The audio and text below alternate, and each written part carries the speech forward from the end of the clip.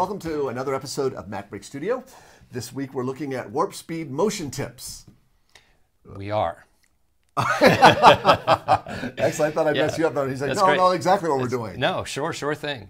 Um, we're going to talk about how to do some rigging in motion.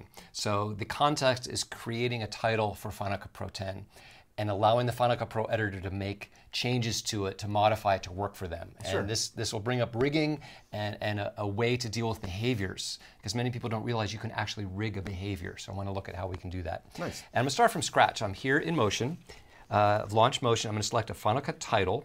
And I'm going to use the default, just a 1080 project here. And Shift Z to fit the canvas to the window. I'm going to turn off but not delete that title background.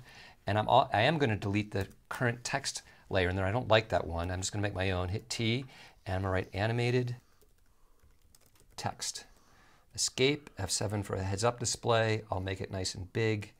F1 for the inspector, and I'll reset the properties, and I'll also uh, center it. Okay, so I just want some text on the screen.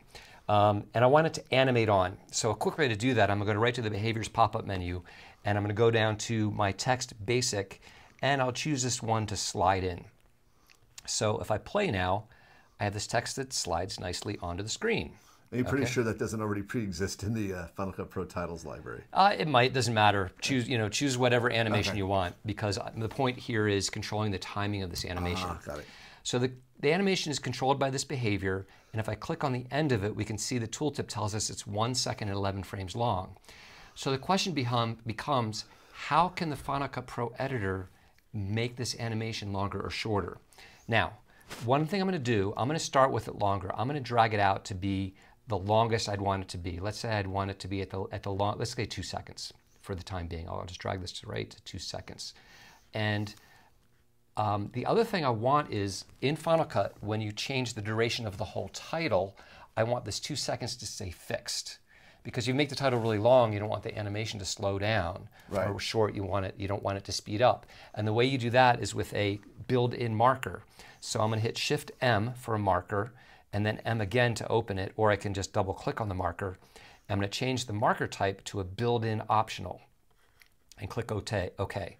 So what that does, if I look in the project itself, that adds this built-in option. This, these are the published parameters that will show up in Final Cut. In fact, let's just save this right now and call it slide in title. Slide in title. Everything I'm talking about applies to slide out as well or animating off the screen. And I'm going to put it in this category called testing just so we can find it easily and I'll publish it. So by doing that, if I switch to Final Cut and I go to the title inspector, and I go down to testing, there's our slide in. So if I add it to my project, Shift Z, so here we have the whole title, and an We should see that in. built-in parameter in the inspector. We will. So if we go to the inspector, there's the build-in. So if I turn that off, there's no more animation. Right. Okay. Uh, but that's all we can control. Now, this by default, we can see that this duration down at the bottom is 10 seconds in one frame. If I make it much shorter, that animation speed is going to be the same duration, you know, unless I go bel- below two seconds. If I make it much longer, it'll stay two seconds no matter what, which is great. That's usually what we want. But what if you wanted the Final Cut Pro editor to be able to change that to say, you know, I want it to be one second, no matter how long I make the whole title, or I want it to be half a second. How can you do that? Another marker? Not another marker. No, no, that won't do it for you. So what I'm going to do, you could right click on it and choose open in motion, or in my case, it's already open. Here's what we're going to do. The trick here is first to start with it at the longest uh, duration you probably want. So I'm going to make it even longer. Let's say three seconds. I don't think anybody's going to want it longer than three seconds. And I'm also going to take my built-in marker and move it to the end. Because what the built-in marker does, it says, never change the timing of everything to the left. Got it. When you stretch or shrink the title in Final Cut, only change the timing to the right, okay? So you can see this bar, that's behavior, and this little area is the spread of the animation, kind of how they're spreading out. But you can see the animation takes the full duration of that bar, right? Sure. Takes all the way to three seconds to animate on. So here's the trick. I'm gonna close the heads up display and go to the behaviors inspector and open up the controls.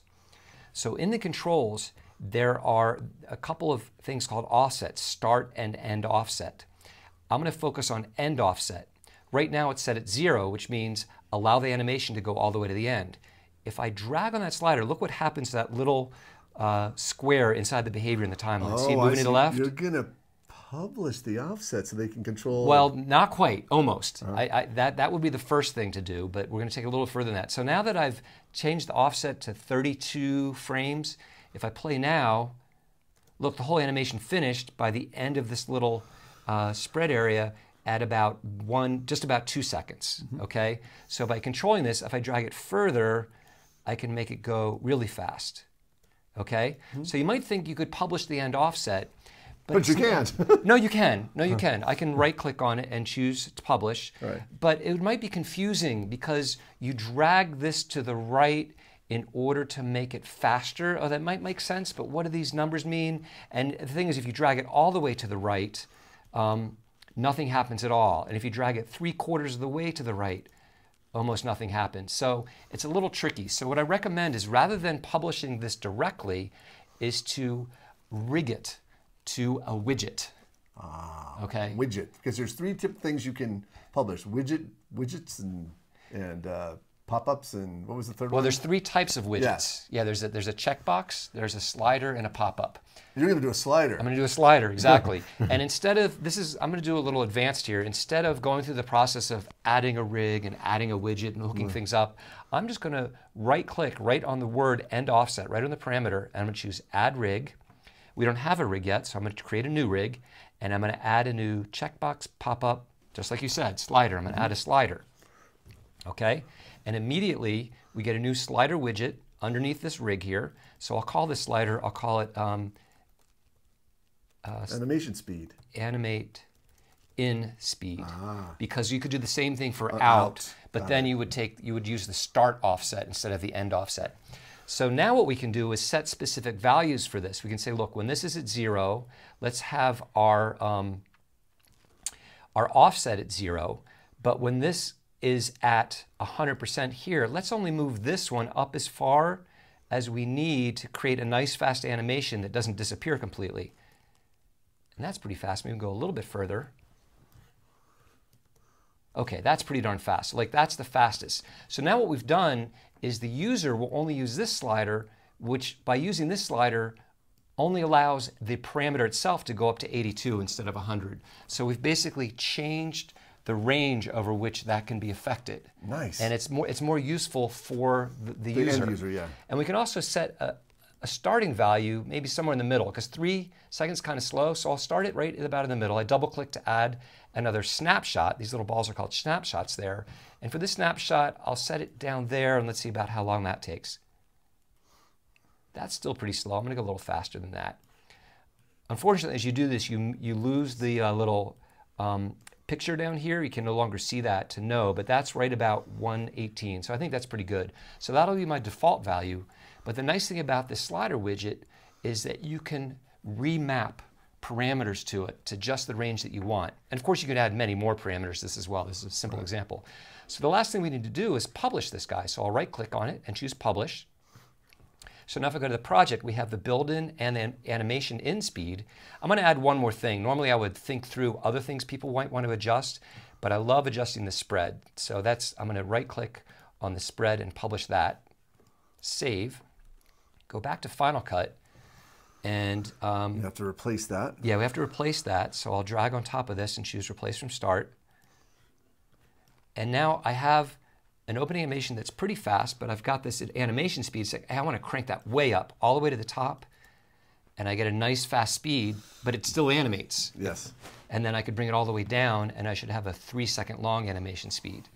That is pretty cool. And then because I've included the spread, if I put the spread at zero, we'll get one letter at a time, kind of typing on. And if I increase the spread, uh, I don't know, three, four, five, six, seven, we'll get a much sort of smoother animation that takes the same amount of time, but just animates in a smoother way, more letters animating at once. And of course, you could take it much further and, and have it animate the opposite direction and, and what have you. Right. Uh, but this is sort of an introduction to the idea of rigging. Creating a rig. Yeah, and that you can animate behaviors, even though you can't actually, you know, stretch them directly in Final Cut, using the end offset or start offset to do that. Really, really nice. If, if this interests you at all, we have a great tutorial on our site called Rigging, and Publishing. In fact, all of our plugins were created with Motion. And uh, you know, if there's somebody you're interested in, you definitely want to check out Rigging and Publishing because Mark just goes into all the details how to set up how to set up your different widgets and your pop-ups and your sliders, all that stuff, so that uh, end user in Final Cut has a, a, a good user uh, experience. And, and they can't mess with your design. And they can't mess with your design, exactly. So, thanks for watching another episode of MacBreak Studio. Make sure to check us out on YouTube, Facebook, the usual places. And, uh, and thanks for watching. See you next week.